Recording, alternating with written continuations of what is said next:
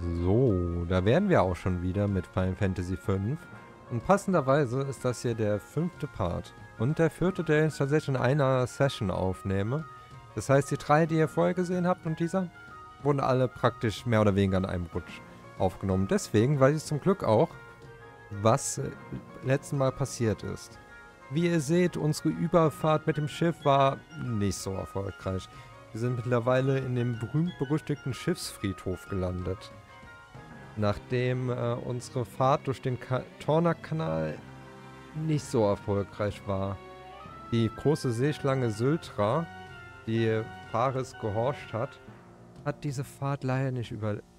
Obwohl wir wissen nicht, ob sie sie nicht überlebt hat. Überlebt hat. Aber sie konnte auf jeden Fall das Schiff nicht weiter antreiben, sodass wir hier hingetrieben sind. Zum Schiffsfriedhof. Und jetzt wollen wir doch mal sehen, ob unsere Charaktere, unsere vier Charaktere, den Weg hier rausfinden, die ja mittlerweile, muss man ja sagen, Klassen haben. Und übrigens wurde jetzt auch confirmed, dass äh, Fares eine Frau ist, weiblicher Charakter. Wir haben uns jetzt schon relativ weit durch den Schiffsfriedhof geschlagen. Deswegen bin ich jetzt einfach mal gespannt, wie weit es noch sein muss. Und wir kriegen hier direkt am Anfang einen neuen Gegner mit dem Kopfzüngler. Was kann der denn so Schönes? Der ist Stufe 11, hat 90 HP und keine Schwachpunkte. Ich glaube, dann werde ich tatsächlich keine MP benutzen, um ihn anzugreifen. Okay, ja, das ist...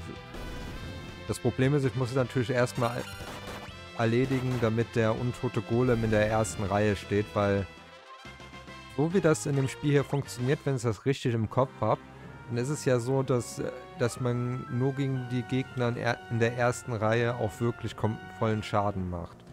Bei allen anderen Gegnern macht man halt nicht vollen Schaden. Das ist ein bisschen blöd. Außer es ist ein Skelett, da ist egal, weil die Dinger sind sowieso schneller down, als man hinschauen kann. Also. Da juckt es ehrlich gesagt nicht so wirklich. Und wie ihr seht, fehlen uns auch nur noch sechs Kämpfe. Dazu, dass wir, dass zwei unserer Charaktere ein äh, Level abbekommen äh, im Beruf. Warte, hier auf dem Weg liegt die Weltkarte. Heißt das, das ist der Weg, den das... Hm, das heißt, ist das hier der Storyweg? Sag mir jetzt nicht, ich bin schon wieder aus Versehen den Storyweg gegangen.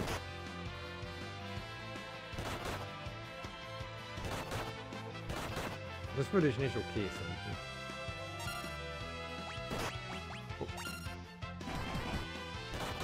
Okay. Da hat jemand absolut keinen Bock mehr auf das Skelett. Fühle ich persönlich. Oh, das war Damage. War ordentlich Damage. Ah ne, hier unten sind drei Schatzkisten. Dann sehen wir doch mal an, was drin ist. Antidot, Antidot und Phönixfeder. Ich finde es nur eine sehr merkwürdige Entscheidung, dass man das Antidot nicht in die Mitte gepackt, äh, die Phönixfeder nicht in die Mitte gepackt hat. So hatte man halt zweimal Antidot und einmal Phönixfeder. Also zumindest ich würde das so machen. Dass ich dann die Phönixfeder äh, Feder alleine aus Symmetrie in die Mitte packen würde, aber ich bin auch ich und äh, keine Ahnung, ob das dann komisch wäre oder so, I don't know. Okay, bei, ne, bei einem Skelett ist ein Angriff von hinten relativ egal. Aber was ich gerade durchaus interessant finde, der Part hier ist ja wirklich noch nicht so lang, ne? Aber schon zwei Angriffe von hinten. Uh. Ich habe äh, Schwarzmagie Stufe 1 und Stufe 2 jeweils gemeistert. Das nehmen wir doch. Dann hoffe ich, hier ist aber mal ein geiles Item. Du bist kein Item. Also nicht das alles hier. Oh. Es sieht echt so aus, als ob es hier weitergeht. Shit, dann muss ich wohl nochmal zurück.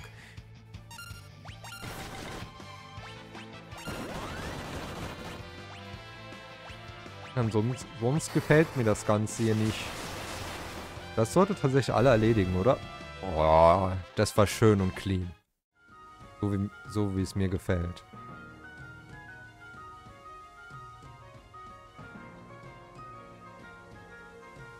Weil bin bin kein Trugendier, deswegen gefallen mir die Sachen sehr clean, müsst ihr wissen. Und ja, ich bin mir für diese Witze immer noch nicht zu schade. Und ihr wisst doch alle, das wird sich nie ändern.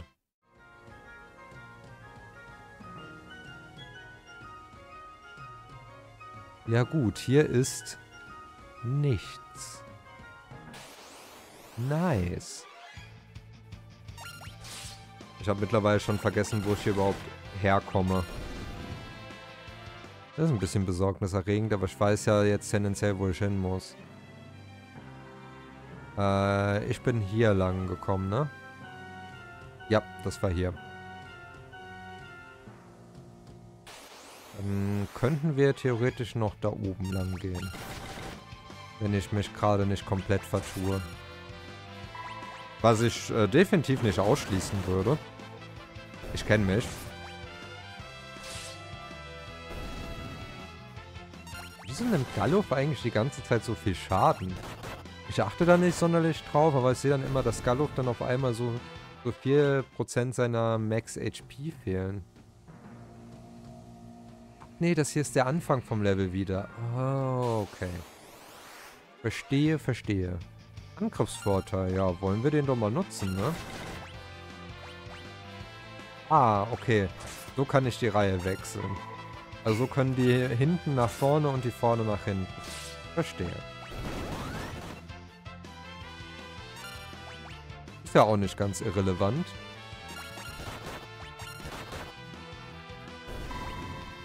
Im Gegensatz zu einem Elefanten, der sich verirrt hat. Der ist ganz irrelevant. Nein? Okay. Ich merke wirklich, ich, ich baue immer mehr baue immer mehr meiner äh, Basswitze hier jetzt auch ein. Ob das eine gute oder schlechte Sache ist, wage ich es nicht zu beurteilen. Würde aber sagen, es ist eine ganz gute Sache. Ich glaube, da wird mir vielleicht die eine oder andere Person widersprechen. Aber das ist das Schöne an diesem Format. Wenn, dann lese ich nicht jetzt wenn ich so spreche. Aha.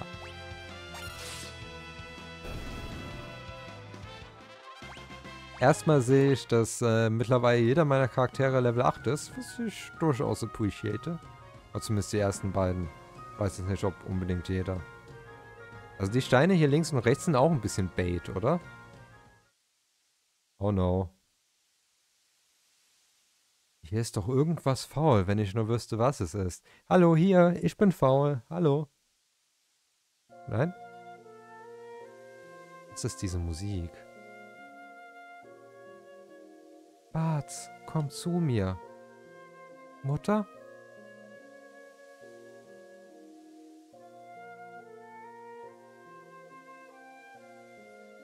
Es ist wirklich komisch gerade. Komm zu mir, meine Kleine. Vater. Lena, äh, ja.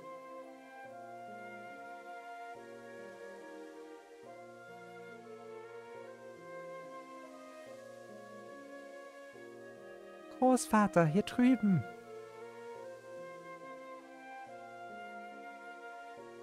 Wer ist das? Ich ich kann mich nicht erinnern.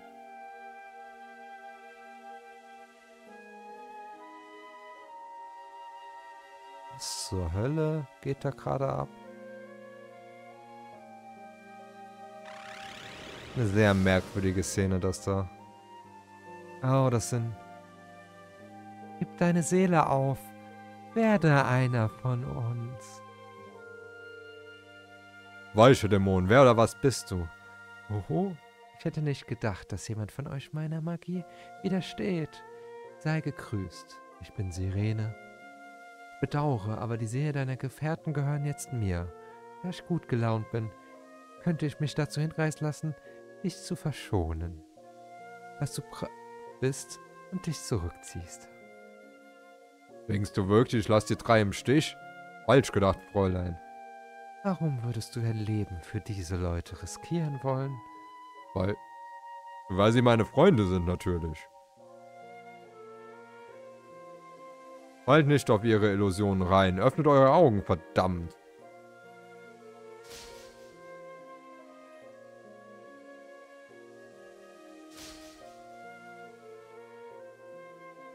Auch keine Scham davor, Frauen zu schlagen, wie ich sehe.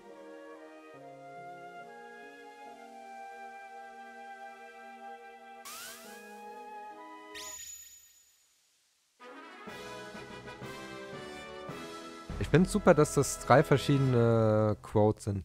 Bart wird aus der Hypnose gerissen, Lena kommt wieder zu Sinnen und Faris erwacht aus ihrer Trance. Galuf, Oh oh, sie greift an. Der nächste Bossfight, den wir jetzt haben. Ich hatte tatsächlich... Oh, shit.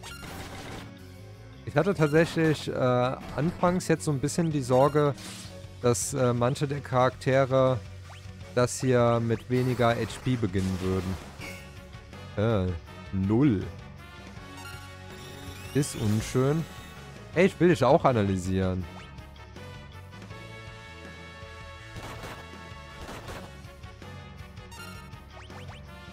Ich habe kein Echo-Kraut oder sowas. Nope, habe ich nicht. Well, das ist jetzt ein bisschen kacke. Funktioniert wenigstens Feuer gegen die? Nö. Blav. Kannst du mal aufhören, alles auf Barts zu werfen? Sirene ist zu einer Untoten geworden. Okay. Und soweit ich weiß, haben Untote in diesem Spiel eine Schwäche gegen Feuer. Ah.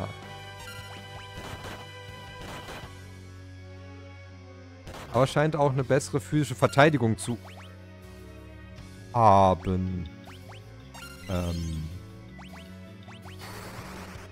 Das war Damage. Und unser Weißmagier ist immer noch äh, außer Betrieb. Aber das ist egal, weil die Sirene ist down. Die ist down. Nice. Ich hatte jetzt wirklich kurz einen Moment Angst. Aber es schien ja alles äh, gereist zu haben. Gallop hat Beschützen gemeistert. Und wir kriegen ein Bronzeschild. Uh. Gallop, Sie haben uns gerettet. Wir verdanken Ihnen unser Leben. Ach was, lassen wir diese Gefühlsduseleien. Sie werden ja ganz rot. Ich tu nichts dergleichen. Und die anderen drei lachen. Ist doch schön, dass sie lachen können. Ähm... Ausrüstung. Ja, genau, das wollte ich nachgucken. Äh, Galluf. Yes. Der Bronzeschild? Ich glaube, das ist schon sinnvoll für ihn, ne?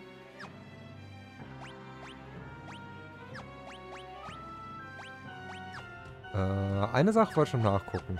Ich habe jetzt die Weltkarte. Ah, die kann ich mir jetzt angucken. Okay, wo waren wir denn bis jetzt? Fangen wir mal Tycoon Meteorit. Dann wird das über dem Tycoon Meteorit tendenziell äh, das Schloss Tycoon sein, logischerweise. Die Höhle, durch die wir gegangen sind. Das Piratennest.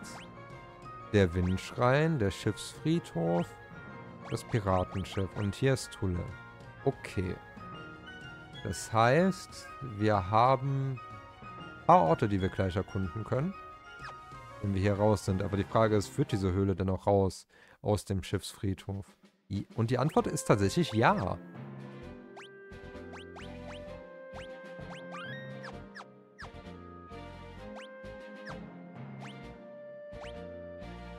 Okay.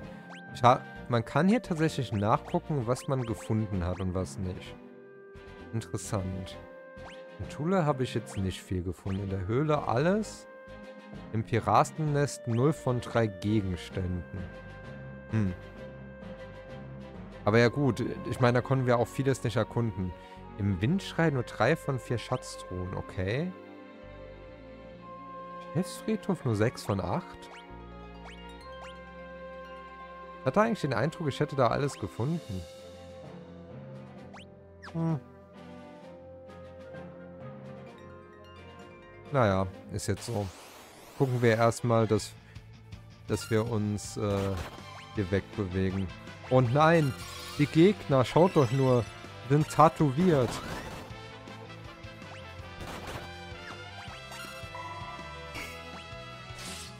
Ich konnte mir den Kommentar nicht verkneifen. Es ging einfach nicht. Die kommen bestimmt aus Tatooine. Und ja, anscheinend will ich diese Parts mit so viel Anspielungen füllen, wie nur irgend geht, wenn ich mir so gerade selbst zuhöre. Der Weg, der scheint, der führt anscheinend nirgends hin. Ich kann ja auch Magie außerhalb der Kämpfe anwenden. Ja, okay. Dann mache ich mal das da. Ein Stachling und ein Hornbulle. Wie soll ich mir das vorstellen? Ist das so, ist das so ein Polizist, der mit einem Jagdhorn durch die Gegend rennt? Oder...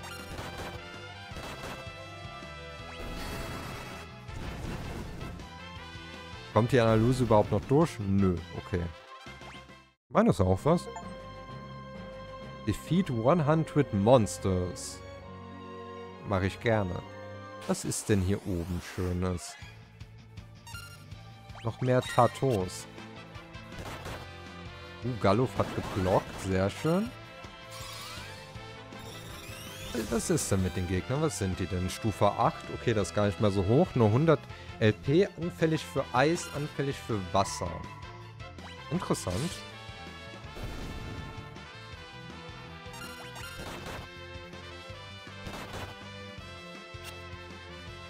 Oh, der lebt ja noch. Oh, der lebt ja nicht mehr. Na dann. Baris hat waffenlos gelernt, gemeistert. Waffenlos. Das ist ja wahrscheinlich auch wieder eine... Ah, Fähigkeiten. Waffenlos. Beim waffenlosen Angriff die Kraft eines Mönches. Okay. Brauchen wir jetzt momentan nicht. Was hat Garloff bekommen?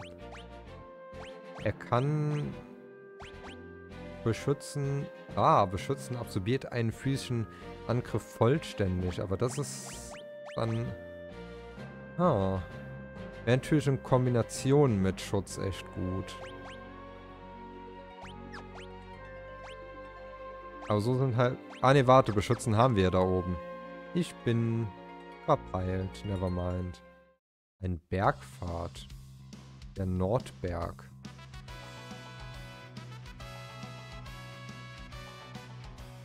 Weiß noch nicht, ob ich hier hoch will, um ehrlich zu sein, auf den Nordberg. Ich schaue mich erstmal um, ob hier irgendwo eine Siedlung zu finden ist, weil das ist natürlich auch immer in so klassischen JRPGs eine Sache, die man gut machen kann. So Siedlungen sind zu finden ist eigentlich meistens nicht so schlecht. Und ja, ich habe ich habe mir noch überlegt, über ein Thema vielleicht äh, zu sprechen. Bei dem Upload ist es vielleicht nicht mehr 100% aktuell, aber es war ja die State of Play, ne? Und da muss ich sagen, da gab es vor allem zwei Sachen, die mich echt interessiert haben. Ah, hier ist ein Dorf, wie ich es mir gedacht habe. Und das eine war Stellar Plate, was nach einem echt schönen Action-JRPG aussah. Und äh, neuer John Sonic Generations Teil, wo man anscheinend auch äh, Shadow the Hedgehog spielen kann. Beides Sachen, die ich total faszinierend finde, auf die ich ein Auge habe. Falls ihr euch die Präsentation auch angesehen habt, würde würd mich mal auch interessieren, was habt, auf, auf was freut ihr euch denn so? Gibt es da irgendwas explizites oder denkt ihr euch so, ach, wenn irgendein Spiel dabei ist, das interessiert, dann werde ich das schon irgendwie mitbekommen. Ich weiß nicht, ich, ich mag es einfach, mir solche Präsentationen anzugucken. Und ich warte auch immer noch sehr geduldig auf die Präsentation des Switch 2, wann auch immer die passieren wird. Es verdichten sich ja die Anzeichen, dass das in naher Zukunft sein könnte. Und wahrscheinlich bis das Video hier online ist, gibt es wahrscheinlich schon eine Ankündigung bei meinem Glück, aber naja. Jetzt sind wir erstmal in Carven, wo erstmal schön für uns applaudiert wird, so wie es sich anhört. Was, ihr kommt vom Schiffsfriedhof? Ihr seid doch keine Geister, oder? Nein, wir sind Weißbrot. Also zumindest, wenn ich mich so ansehe, dann weiß ich, ja, ich bin definitiv Weißbrot. Goldnadel, Phönixfeder. Was ich wirklich haben wollen würde, hier aus dem Shop, wäre, ähm, hier, Echo-Kraut. Aber die haben kein Echo-Kraut. Schade aber auch.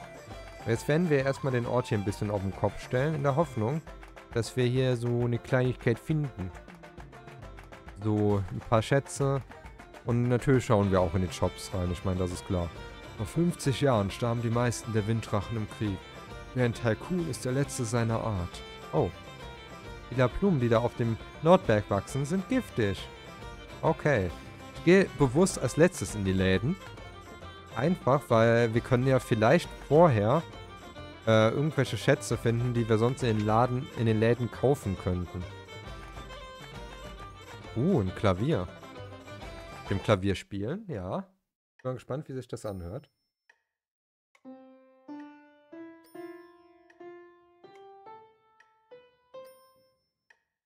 Es ging in etwa so gut, wie, wie wenn ich Klavier spielen würde. Aber wir haben Fortschritt gemacht, das ist das Wichtigste. Oh, habt ihr da etwa eine Weltkarte? Nutzt ihr das Item, um einen Blick drauf zu werfen. Also die Musik im Hintergrund hat Bock auf jeden Fall. Oh, Flüchtern gehört, dass das Drachengras auf dem Nordberg wächst, umringt vom giftigen Gras, also Obacht.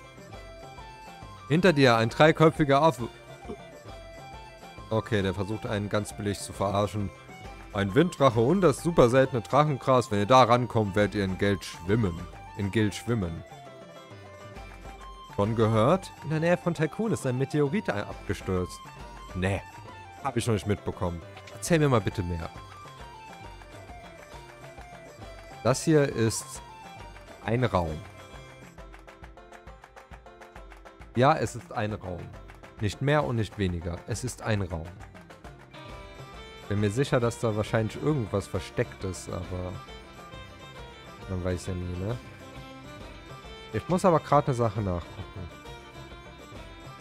Nein, das hier ist was anderes, weil wenn wir hier in dem in der Taverne sind, sieht man, dass hier links ja irgendwas ist.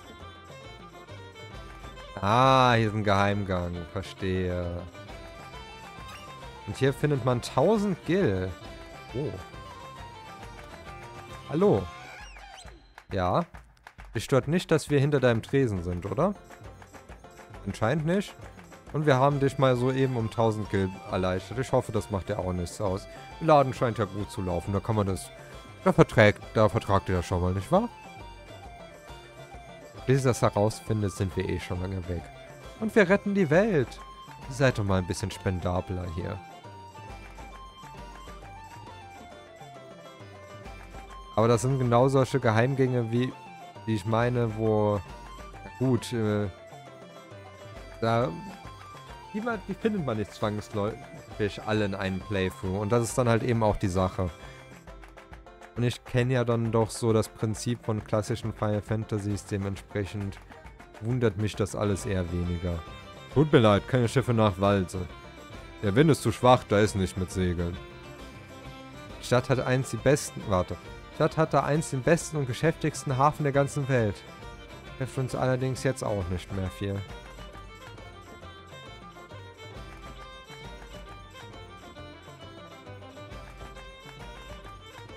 Königreich Weise liegt südlich von hier, jenseits des Meeres. Sie benutzen dort eine Maschine, um die Energie des Wasserkristalls zu verstärken. Wir müssen diese Maschine auch anhalten. Wie kommen wir nur nach Walsee? Weise liegt jenseits des Ozeans. Mit dem Schiff geht es schnell, aber seit der Wind so schwach ist, fahren keine mehr. Und ja, dass wir Siltra nicht mehr haben. Oh, tut mir leid, Fares. Ich wollte sagen, sehr sensibel. Bart, hast du eine Idee? Keine Schiffe. Also der Seeweg fällt schon mal flach. Wenn wir nicht über Land oder über See dorthin kommen, dann... Hm... Muss ja eigentlich über Luft sein.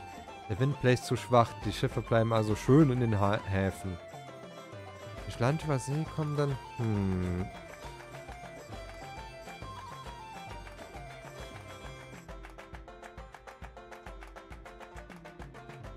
So, aber ich gucke jetzt mal gerade, was, was die schöne Weltkarte hier dann sagt.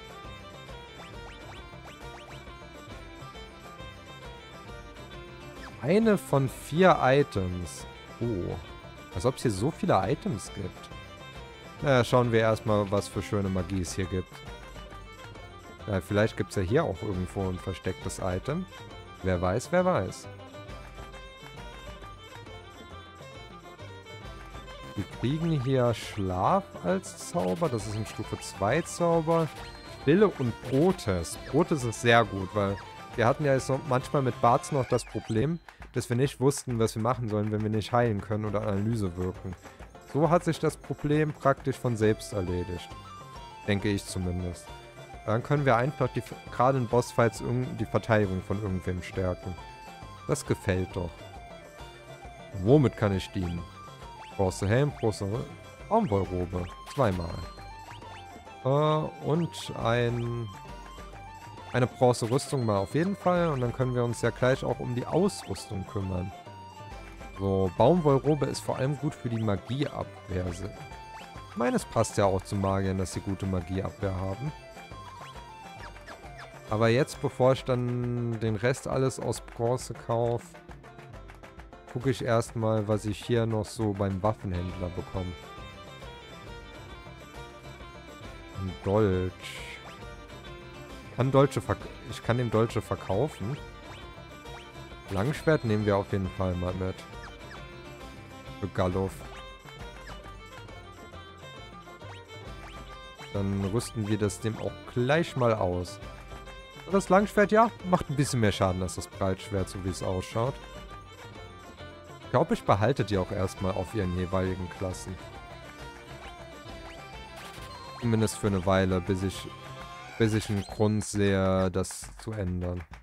Und ich hätte die Ausrüstung auch direkt da bei dem Händler anpassen können. Naja, egal, ist jetzt so. Bekommt er jetzt einen guten Bronzehelm. Und sie bekommt dann einen Kupferharnisch. Ich meine, es ist besser als nichts, also. Nehmen wir es doch mal, ne? Hier gibt es nicht irg jetzt irgendwie zufällig versteckte Items oder so, nein? Also wahrscheinlich schon, ich finde sie nur nicht.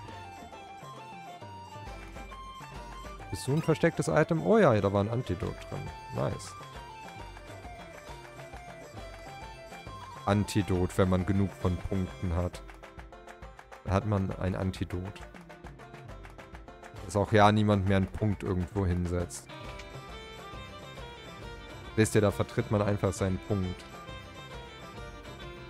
Gibt es hier zufällig einen Geheimgang hinten zu dem, hinterm Tresen? Nein? Schade.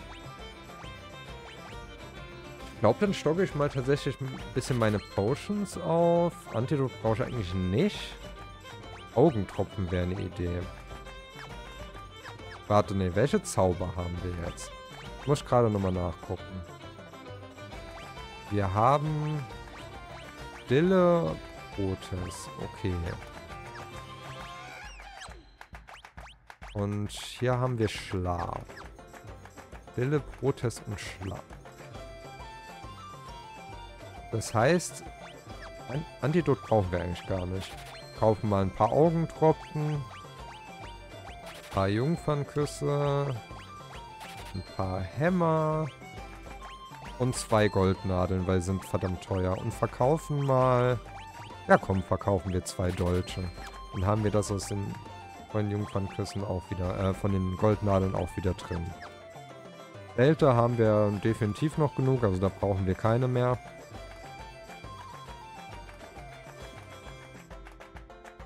Waren wir jetzt hier eigentlich schon in dem Inn? Ich glaube nicht. Dann ruhen wir uns doch mal eine Runde Ausgleich. Aber erstmal checke ich natürlich hier die Lokalität ab. Wer weiß, vielleicht gibt es hier das eine oder andere nette Item, das man mitnehmen kann. Oder den einen oder anderen Geheimgang vielleicht. Ich kann auch nichts aus dem Regal mitnehmen. Schade aber auch. Naja, übernachten wir hier erstmal und schauen. Wie viel kostet uns denn der Spaß? Auch nur 10 Geld. Also das ist günstig. Normalerweise skaliert das ja immer mit. Also wird das im Spielverlauf immer teurer. 10 Gil ist ja zu dem Zeitpunkt ehrlich gesagt gar nicht mehr so viel. Und wir haben ja jetzt herausgefunden, dass wir, also der See- und Landweg ist ausgeschlossen. Und dann geben wir uns mal zu dem Ort, wo es dieses Drachengras geben soll. Und das ist da oben. Aber das machen wir nicht mehr in diesem Part. Dementsprechend wünsche ich euch noch einen schönen Resttag. Habt eine schöne Restwoche, egal wie lang die auch sein mag. Und dann geht es nachher in das, wie hieß das Gebirge nochmal? Ah, ich habe ja mittlerweile eine Weltkarte, da kann ich das nachgucken. Dann geht's ins... zum Nordberg. Sehr einfallsreicher Name, by the way. Aber ja, dann geht's zum Nordberg und ich hoffe, dass wir da etwas äh, von dem Drachengras sammeln können. Sodass wir äh, per Luft nach Walsee kommen können, um dort den Wasserkristall zu beschützen. Aber das ist ja alles Zukunftsmusik. Dementsprechend, wie gesagt, wünsche euch noch einen schönen Resttag. Bis dann.